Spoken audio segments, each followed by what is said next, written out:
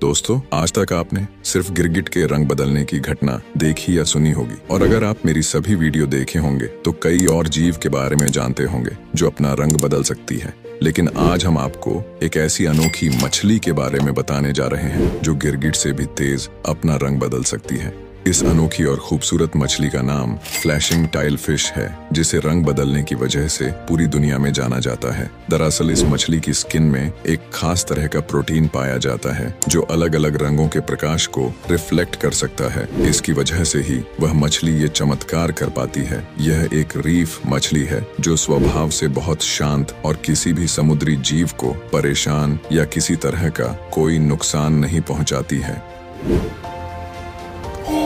He's